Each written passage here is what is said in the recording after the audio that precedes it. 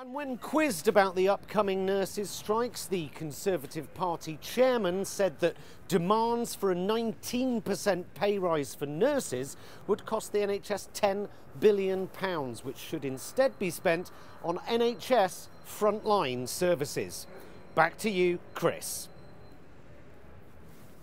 gaslighting fuckers. If nurses aren't the NHS front line, I mean, what, what about ambulance drivers and, and paramedics? Are they not frontline services? Give them a decent pay rise, you fuckers.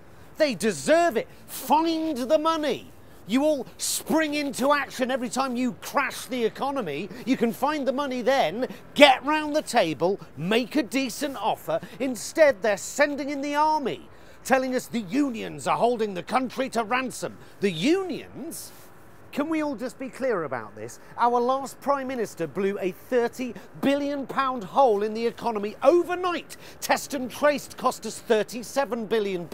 Useless PPE wasted £8.7 billion, which ended up in the pockets of Tory donors. A shambolically executed Brexit lost us £40 billion in tax revenue alone. Rishi Sunak lost £11 billion by overpaying interest on UK debt. And yet, you read the front pages it's nurses who are the ones who are greedy and irresponsible. It's the fire service that's holding the country to ransom because they all just decided they'd prefer to drink tea on a freezing picket line than save children from burning buildings. It wasn't so long ago we were clapping them hailing them as heroes. They were all considered key workers during the pandemic, weren't they? Bus drivers, teachers, nurses. Now they're called lazy, work shy fuckers postal workers striking to save what's left of the Royal Mail, it having been sold off to the lowest bidder for a quick buck by the millionaires in Westminster. But it's your postman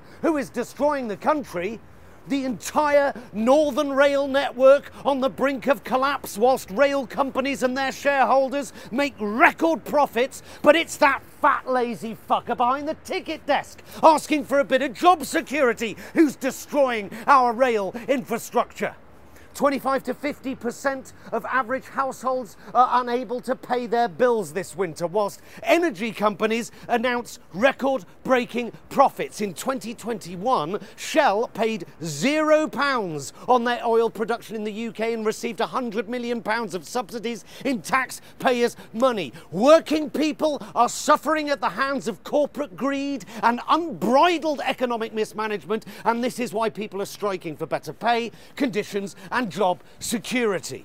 Recently, the government gave us the Public Order Bill that, that, even one Tory peer described as an affront to a civilised society. Crackdowns on peaceful protest is the purview of China and Iran, not British democracy. And yet, these reactionary fuckwits tell us it's Scottish primary school teachers who are holding us hostage. The bastards who wrecked the economy, squandered our reputation on the international stage, sold off any and all of the country's assets for a quick buck, are getting their mates in the media to tell you that it's bus drivers, bin men, teachers, nurses, postmen, passport control workers, and rail workers who are throwing the country to the dogs. Don't believe them. They are lying to you.